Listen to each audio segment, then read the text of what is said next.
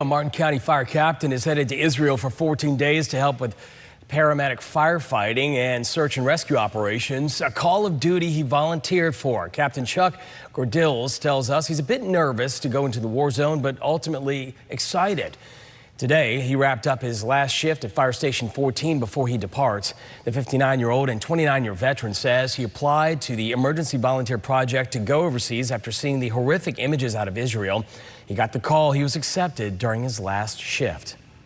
That's the worst part because I started thinking, I put myself in the, the parents' place, what it must feel like to, to know your kids are out there four, five, six days and never seen them and not even know how they're being treated or if they're alive or not.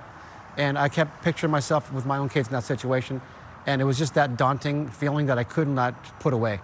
And I had to act.